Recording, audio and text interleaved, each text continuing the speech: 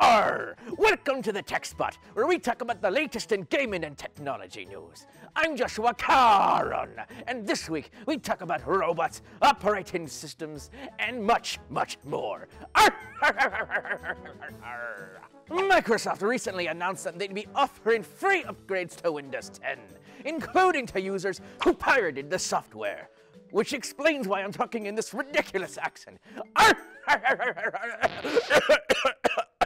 Oh, oh, ah, much better. This is great news for Windows users, but if you're planning on upgrading from a pirated version of the OS, you may not be able to upgrade other devices as they will still be considered non-genuine. But this shouldn't be a problem, seeing as no one really pirates software anymore. Windows also announced a new feature that will appear on the new operating system, Windows Hello. This feature will allow users to access computers and devices running Windows 10 via face recognition, iris identification, or fingerprint matching. Ah, mate, you call that a story? This is a story.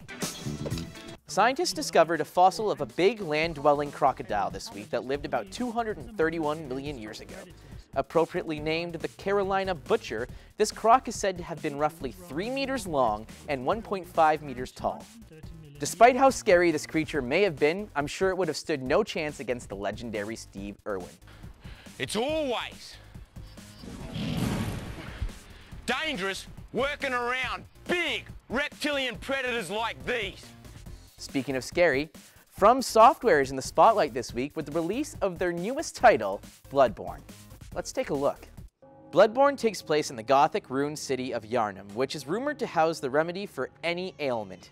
You play as a traveler in search of the remedy, but when you arrive to the city, you soon discover that it is plagued with an endemic illness that has most of the city's inhabitants transformed into bestial creatures. Bloodborne is exclusive to the PS4 and is in stores now. In an interview, Tesla CEO Elon Musk claimed that he believed driving a car will become illegal within our lifetime. Autonomous vehicles are supposed to be exponentially safer. However, regardless of how much safer these vehicles may be, some motorists are just too in love with their cars to give up the wheel. Have you heard of Indiegogo? Well, it's a lot like Kickstarter, except more indie and a lot more go-go. Sorry, Amber, I couldn't resist. What you're about to witness is a video from Indiegogo depicting your average family with one small addition. This guy. Introducing Jibo, the world's first family robot. Say hi, Jibo. Hi, Jibo. Me? The video claims that Jibo is a platform that will have many applications. It will be able to send you reminders, teach your children, and even act as a wingman. You have a voice message from Ashley. Want to hear it? Absolutely.